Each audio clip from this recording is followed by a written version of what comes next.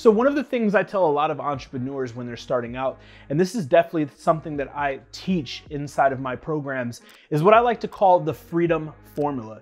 See, so many people, when you ask them, what's your goal of starting a business or selling on Amazon or becoming an entrepreneur, everybody says one of two things to make money or to quit my job, right? Or not work for someone else. Well, I challenge you to think a little bit deeper outside of that. If you currently have a job that you don't like, that you want to quit, and you want to utilize entrepreneurship or your Amazon business as that catalyst that allows you to do so, I want you to think very specifically on how much money do you need and how much money do you need saved to comfortably quit your job or whatever your goal may be.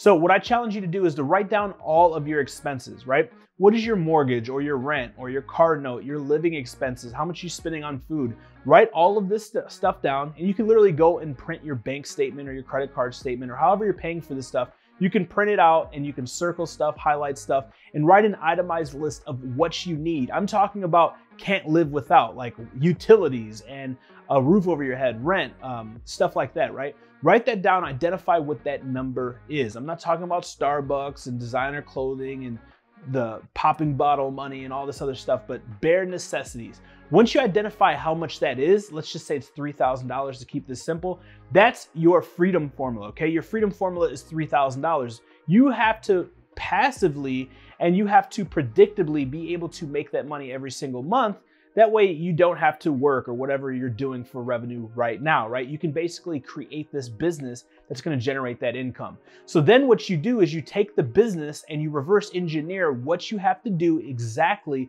to come up with that amount of money.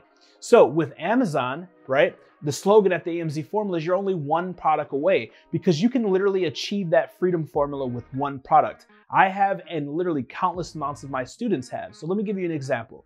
If you have one product that's selling 10 units per day at $10 profit, that's around 2,800 to $3,000 profit per month. Now remember, our freedom formula was $3,000. So very conservatively with one product, if we can do product research and find a product that meets that criteria, we've just completed our freedom formula.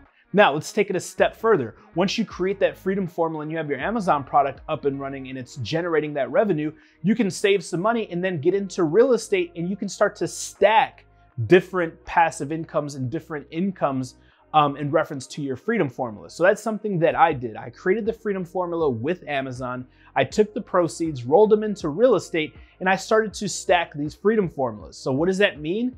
That means if something happens to my Amazon business, guess what? All of my apartment buildings surpass that freedom formula. So I'm never gonna be out of money. I'm never gonna be out of cash flow. If something happens with one of them, the other one will pick up the slack. Now, a lot of you guys starting out, you're not gonna be able to launch your product, make that amount of money, go to real estate, buy some real estate, so on and so forth. But I want you to see how I did this that way you can have a master plan, right? My mentor said that in order to be prolific, you have to become specific.